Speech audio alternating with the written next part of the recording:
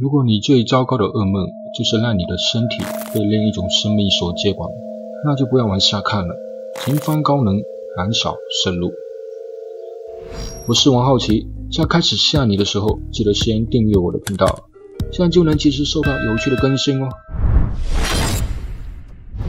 人夫蝇属狂蝇科，成虫有点像蜜蜂和苍蝇的结合体，而它最可怕的地方是幼虫期。它的幼虫会寄生在宿主的体内，待长大成熟后，从宿主的肉体中破体而出。这些苍蝇的寿命只有九到十二天，基本上它们的诞生只是为了交配、繁殖和死亡。雌性人夫蝇在产卵时会找蚊子或者普通苍蝇，用粘性胶状物质把卵藏在它们的身上。这些蚊子或苍蝇会去寻找动物。在它们吸血停留的过程中，就把卵留在了动物身上。借着宿主的体温，在五到十秒内就能孵化成虫。之后顺着毛孔抓入皮肤，在皮下靠吃结缔组织为生。一旦虫卵落在宿主身上，幼虫将通过叮咬的伤口或者毛囊，在宿主皮肤下挖个洞。它们身上长着类似倒刺的结构。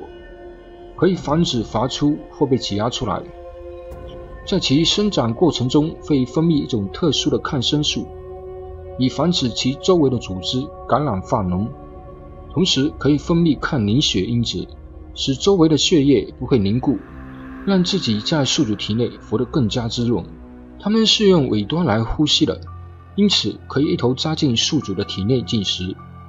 每隔几分钟就会从挖开的通道伸出头来呼吸一些新鲜空气。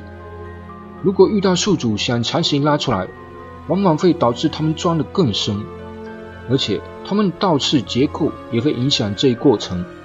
要想取出它们，只能等待它们成虫后自己爬出来，或者用凡士林和其他东西封住伤口，让虫子因缺少氧气爬到伤口附近，再把它拉出来。幼虫将在宿主的皮肤下寄生长达三个月，期间一直在进食和生长，并在其寄生位附近引起炎症。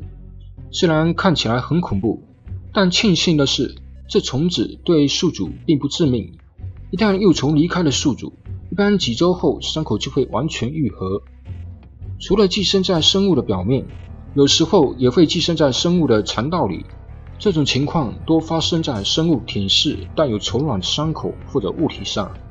庆幸的是，这种生物都是在美洲和非洲才有的，中国基本上是见不到。虽然如此，国内还是有很多被寄生的案例，多发生在去非洲和美洲回来的情况下。所以，如果你去上述两个地方旅游的话，记得一定要喷防虫剂哦。本期的视频就到这里结束。如果你喜欢我的视频，不要忘记订阅哦。我们下期见。